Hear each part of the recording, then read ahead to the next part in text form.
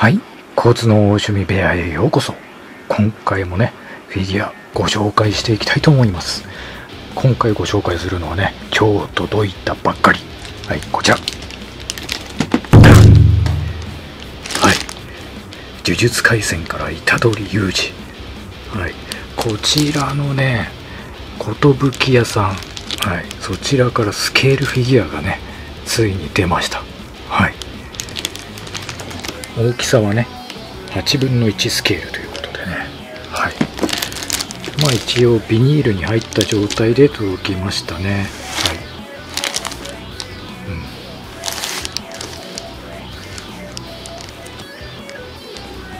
ん。はい。で版権はシールじゃないですね。これはプリントかな？うん。はい。ということでね早速ですが、えーブリスターの状態見ていきましょう。はい。ブリスターの状態まで持ってきましたがまあすごい丁寧に梱包されてますね。上にクッション、はい、でこれはあれですね。二重底ですね。はい。これ土台ですね。うん。台座。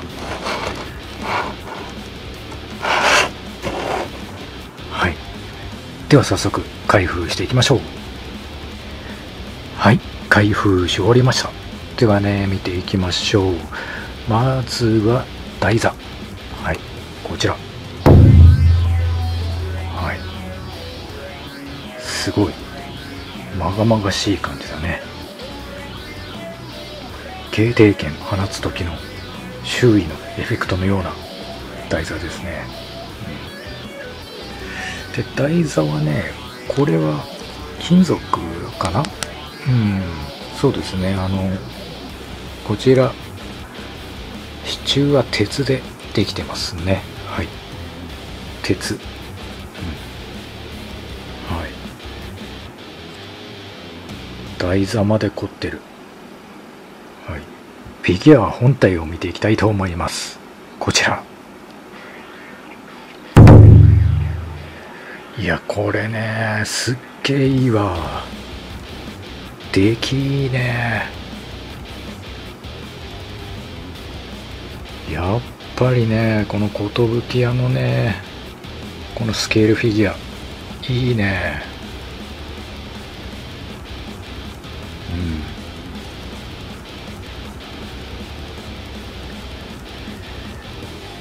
ん。服のねこの造形もいいし何よりもねやっぱ塗装がちゃんとしっかりしてるんですよ。シャドウ吹いてて陰影がはっきりとつけられています。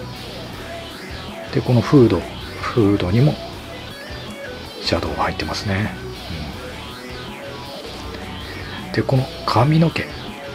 髪の毛はねツンツンヘア。これよく再現されてますね。痛いぐらいですね。毛先の方までしっかりと作り込まれてるんで一本一本がね。うん。忠実に再現されてますね、うん。で顔。うん顔もねやっぱりもうプライズ品とかと比べてねやっぱ全然違いますね、うん、しっかり作られてる。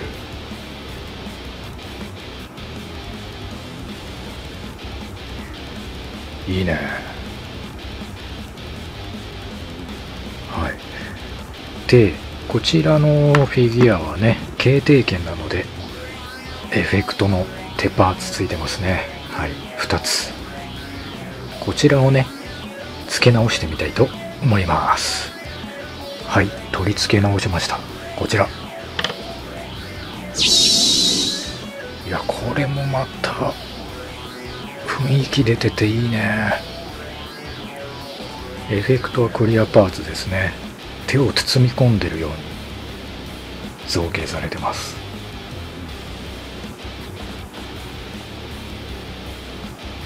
いやこれは絶対こっちで飾るよな。普通のデパーツで飾らないなこっちの方がいいな。かっこいいもんね、やこれは素晴らしい。かっこいいわ。はい。ではねちょっと台座に合わせてみたいと思います。はい。台座と合わせました。こちら。いやいいね。こう見ると。いやかっこいい。やっぱりクオリティ高いな。寿屋のねこのシリーズは。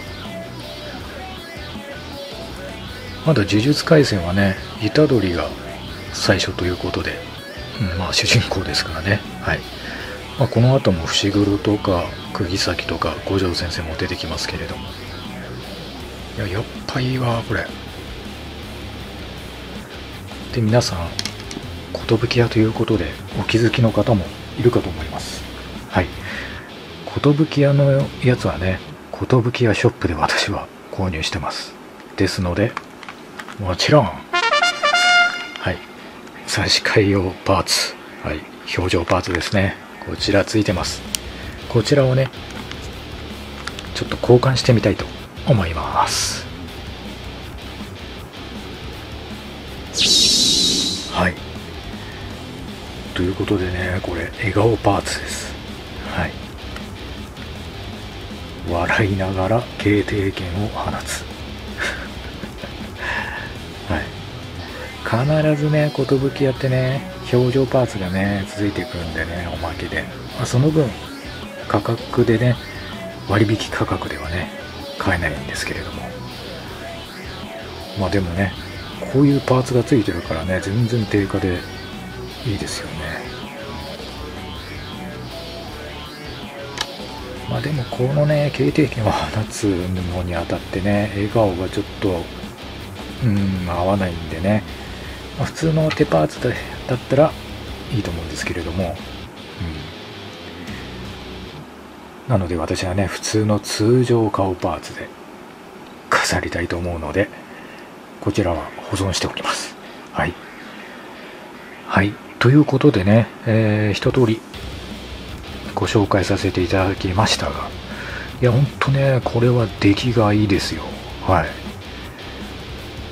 まあね本当に呪術廻戦ファンなら買いではないでしょうか、まあ、この先もね続々とキャラクター出てきますんでね全部購入して飾るとね飾り映えするんじゃないでしょうか。はい。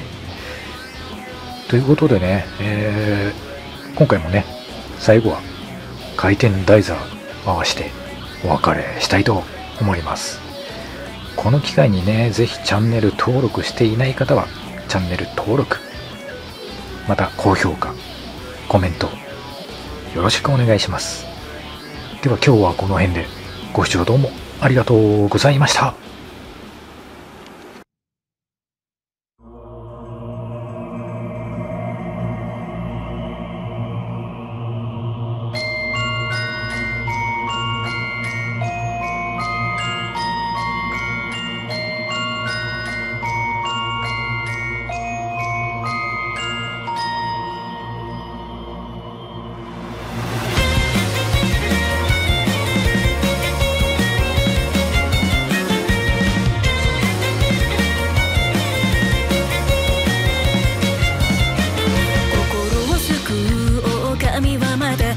光のような光放つ繋いだ鎖解き放てば愚かな僕の積み重なる帰らぬ